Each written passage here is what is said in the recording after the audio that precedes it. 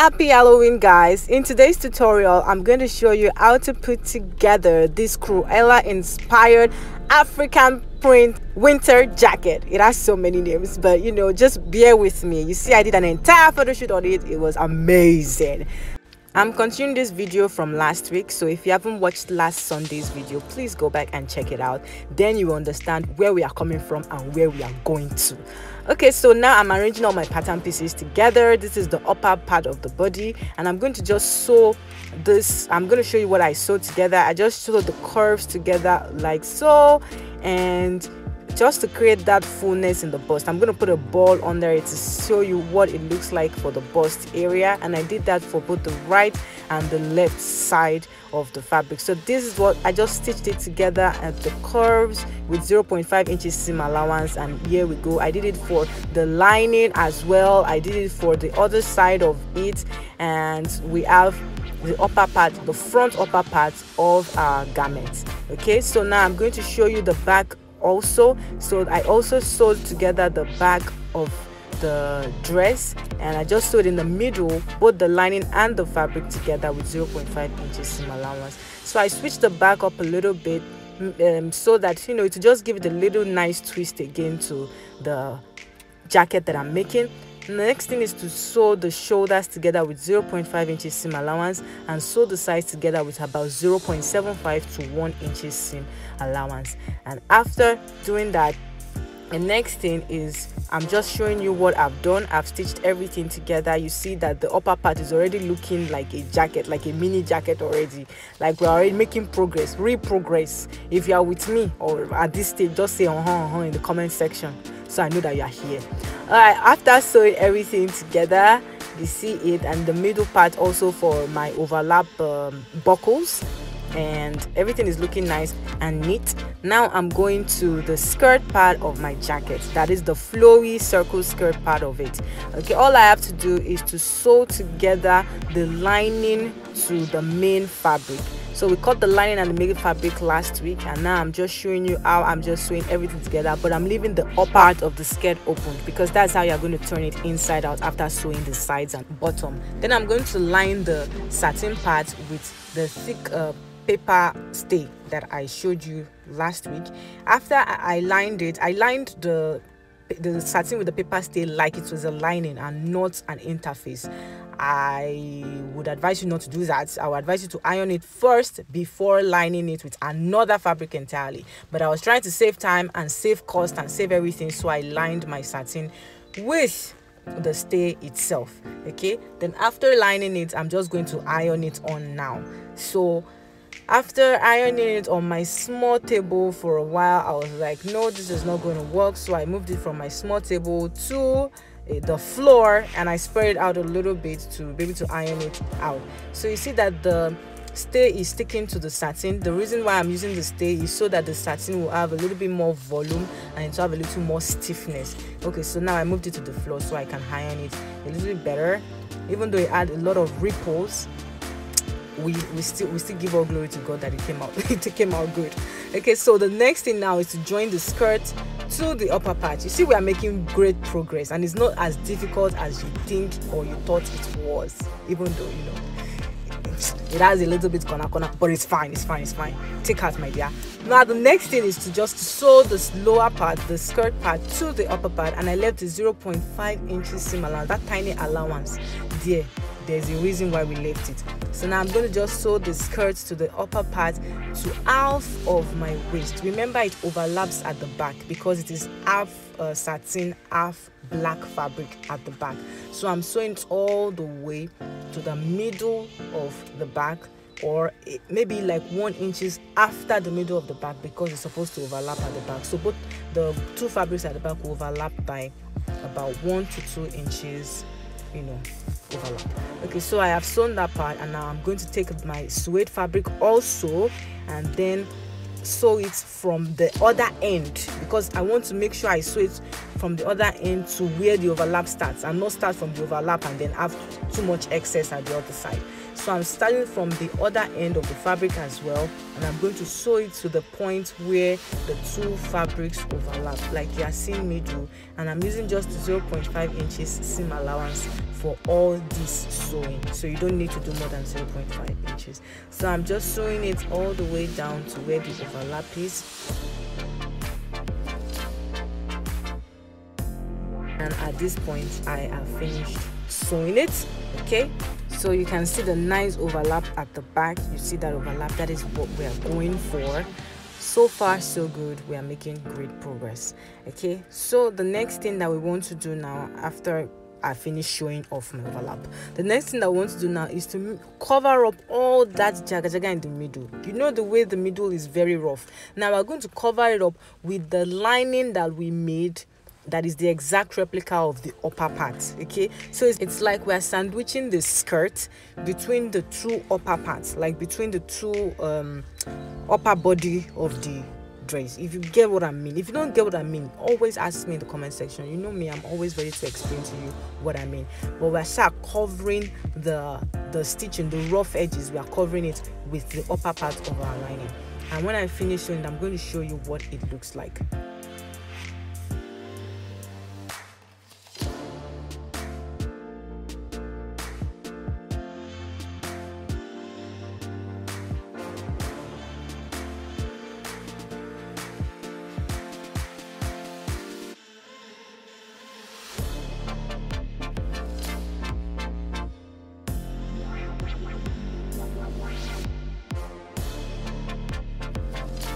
all right so after stitching it this is what it looks like. Let me open it up a little bit more. So you see that that part the rough part has been covered with our upper lining. So that part that is jaga jaga is because i did not line it and i used my stay directly on it but i'm going to fix it later on and you're going to see what that looks like.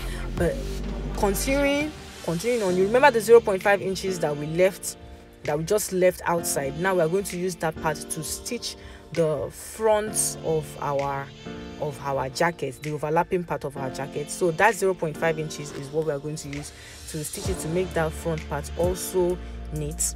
So now after sewing it i'm going to show you also what it looks like. And then this is what it looks like do you see that? So that part is also covered and it's smooth and it rhymes with the skirt of it. So this is the overlap part and it rhymes and it's with the skirt and then you repeat that for the other side. And this is what it looks like. So far so good though. I thank god for the place where i did today.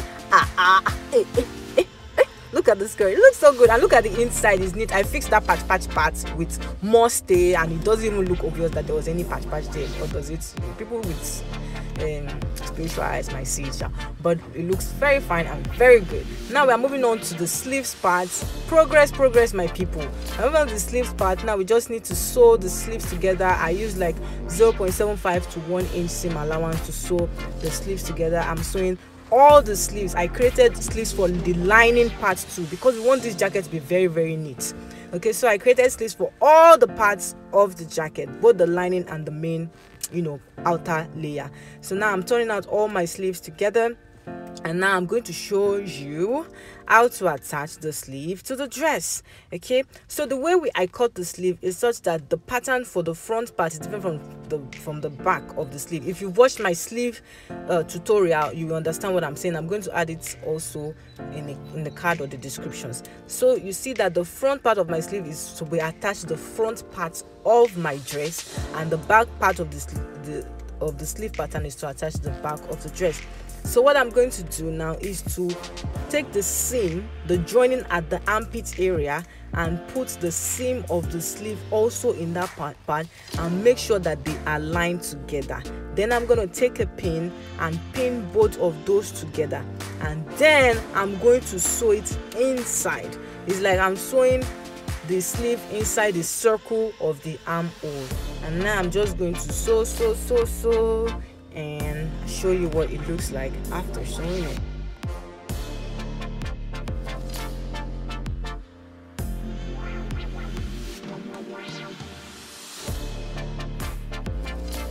So after sewing it this is what the outside of the dress looks like when i turn it out you see the sleeve is very nice. The seams are aligning just like we wanted it to align and everything is looking sharp and beautiful. Now i'm going to repeat the same process for every other part of the dress. So for that side i've done it. For the other armhole for the armhole of my lining the two armhole of my linings i'm going to fix all the fabric oh sorry all the sleeves in it. And this is the end product. I've fixed all the sleeves on the different parts of the dress so it's like i'm making a dress with my lining and i'm making a dress with the main fabric because i want it to be neat like this. It's like you bought a ready-made jacket like you bought a jacket that was made you know by let's say gucci or you know like know those big big nice nice jackets those big big places where you buy jacket from and the inside is all neat and well lined and insulated and you know you are feeling like matrix or you know something like that like the trinity in matrix. That's the name of the game right? Trinity. Trinity in matrix. Now okay so after doing that we want to now make the rough edges of our wrists clean as well. Because that is what we are going for. We want this jacket to be a clean looking jacket. We don't want it to look like we just got it from a from an online store. So now i'm pulling out the two um, sleeves together. And of course i'm going to align the seams as usual. So i take the seam of the main fabric and i align it with the seam of my lining like that. And i'm also going to pin them together like you see me do and then i'm going to sew around that part. So i'm just going to sew it around that part. You see the way i'm putting them together right? That is exactly where i'm going to sew. So when i bring it back inside out it's going to be a very nice cuff. Very neat cuff. Okay so i'm taking it to the sewing machine now and i'm going to sew sew sew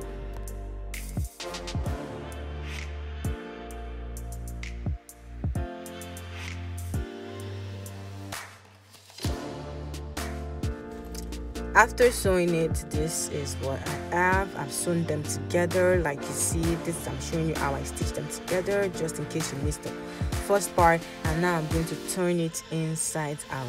Okay now let's drag it inside and let's see how neat our jacket sleeves are. Do you see it very neat. That is the end product we are looking for. We want our jacket to look as sophisticated and as fine as neat as possible. And now i'm going to repeat this for the other side as well. And this is what we have so far also. Do you see me? I'm feeling like trinity. As in cruella jacket. You say what? I say cruella you say fashion. I say african you say cruella africa cruella africa all right so let's you know let's just get into it yo too much singing too much on seriousness but you see the way the jacket is looking all set. Now the next step what's going to be the next step? Tell me. Yes is the hoodie. We are going to move on to fixing the hoodie now. Okay bisola is enough. Go go back. Go back it's enough. I'm dancing again. All right so now to fix the hoodie the like the last main part of this jacket what i'm going to do is to make sure that i snip the part that my neckline stops okay? You know that the way we cut the hoodie we started from the neckline before we we moved to the main hoodie itself. So i'm going to snip that part where the neckline actually starts so that i can start my sewing from that point. Please don't go and sew your neckline together. Don't start from the bottom of your hoodie. You have to start from where the neckline stops. So you sew the hoodie itself now after sewing the hoodie together like you are seeing me do i'm going to show you where my neckline is so that you know what i'm talking about. Okay so i sewed the hoodie together and this is what the hoodie looks like. Come on show us the hoodie. And you see that bottom that is open that is exactly where the neck where you're going to join to the neckline of your clothes. Now i'm going to join my two hoodies together like i'm going to line the satin with the black and line the black with the satin so from the bottom now from the other side of bottom not from the opening no. From the other side of the bottom i'm going to join my two hoodies together and i finished joining it. And uh, we have our lined hoodies or our lined hoodie. I don't even know the our line hoodie this point i think i put too much allowance in that bottom while i was cutting the pattern. I put too too much allowance in the bottom and i'm probably i'm going to cut it off. I'm going to cut it off because it's too much allowance. Okay so you see our hoodie now. Looking all fine and very big just like we wanted it to be. We wanted it to be so big yeah? So now you see that part that i said that i put too much allowance? We're going to cut it off but not right now off so now what you're going to do is to align your hoodie with from the middle of your hoodie you're going to align it to the middle of your upper part. That is the middle to the middle.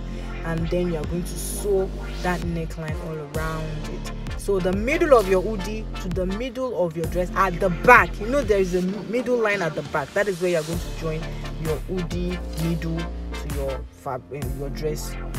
Now like i said i put too much seam allowance in that part so i'm going to just trace it out to give it a nice v the way it's supposed to look like gone gone but i put too much allowance and then i had extra um, extra extra fabric there that i was not supposed to add. So i'm aligning the middle of my hoodie to the middle of the back of my uh, of my dress and I pin both of them together and I'm going to just pin the other side also together and then I'm going to sew that part all the way from the top to the bottom. Okay so let's do that now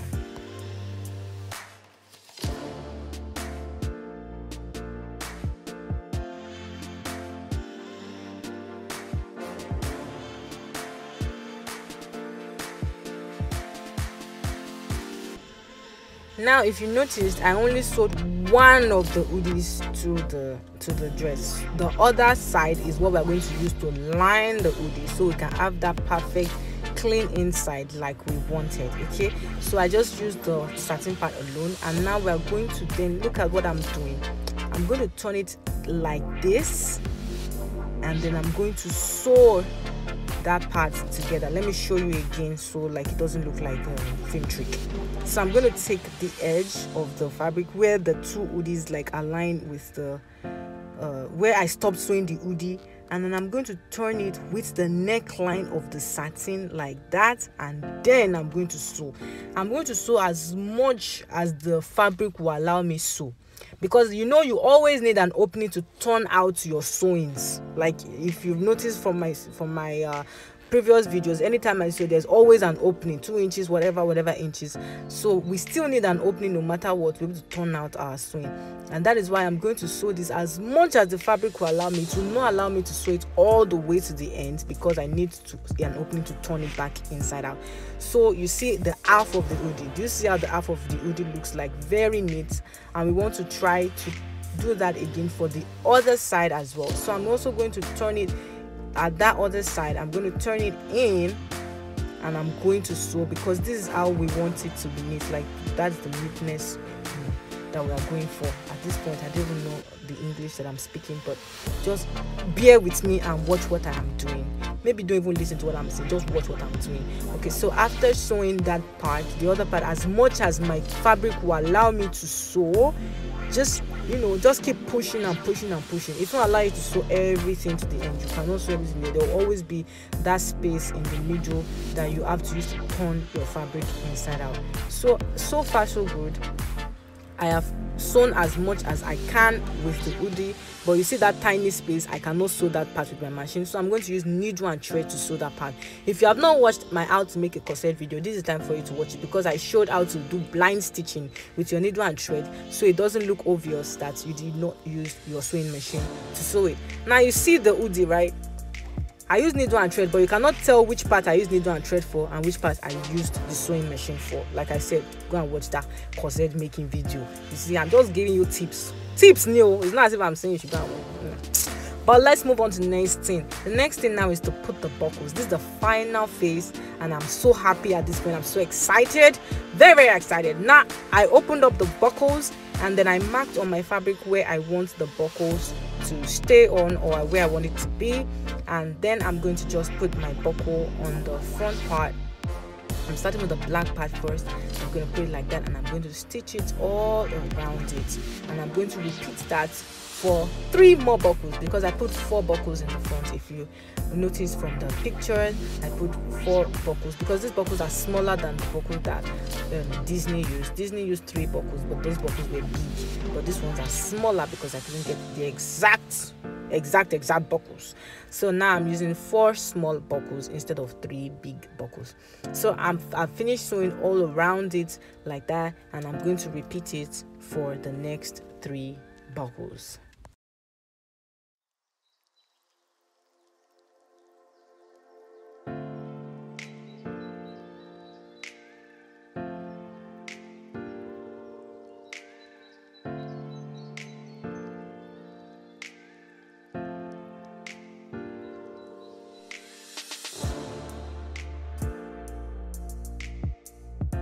now the next stage is this. I have put the buckles on one side but i have to make sure they align on the other side so that i know exactly where to sew and i don't make any mistake with the sewing. So i'm marking where the buckle is supposed to be on the other side if i overlap my front. So i'm overlapping my front first and then i'm marking with the pencil just where the buckle should be.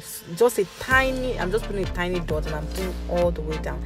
Now i have finished sewing everything that i need to sew. I have my cruella wig i have my jacket i have the hood looking all pink i even have that stick.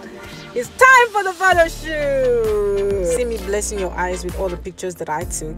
So thank you very much for watching. If you enjoyed this video please give it give it a thumbs up like share it subscribe. See you next week. Bye